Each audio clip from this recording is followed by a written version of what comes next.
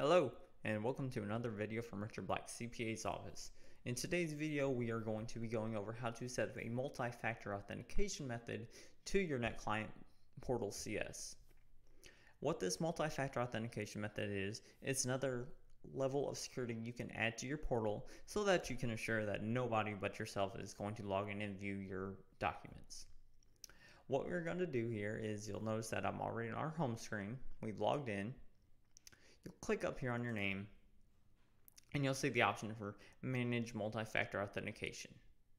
We'll click on this and you'll see that I have no devices paired to this account.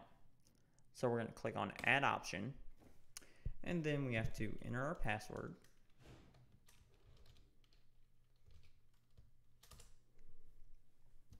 And once done, we're going to be prompted to set up this multi-factor authentication. Now, you also could have done this when you first set up your client portal, but more not, you probably hit remind later if you didn't know what it was. So this is how you're going to set it up. We click on get started, and then we have three methods here to choose from.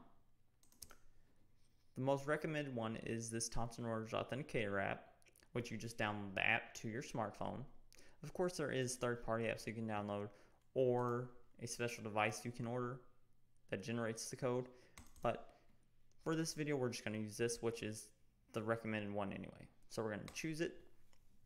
And then it says go to your app store, whether you're on iPhone or Android. And you're going to download the Thomson Reuters Authenticator app. And here's what the logo is going to look like.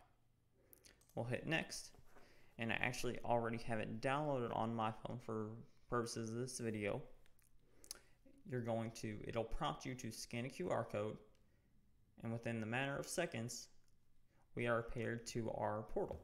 Now you can rename this phone, you can name it your name, a nickname, whatever you want so that you know what device is paired to the account. We'll hit finish. It's going to give us some codes here. You can either print it or copy it. I'll just go ahead and copy it because I don't I don't want to keep these. I don't want to print them. I'll paste them to Word later. And then we just hit done. And now you'll notice that my device is now paired to this account. Now let's see what the whole process looks like when we log in. So we'll log out. And now we go to our website here. We've clicked on client portal. And now we'll enter our username.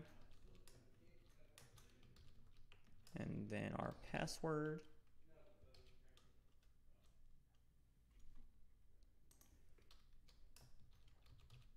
To press the key.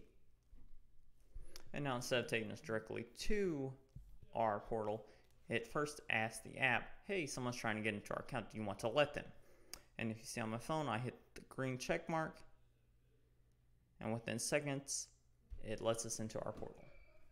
I hope you found this video helpful, and I hope you have a great rest of the day.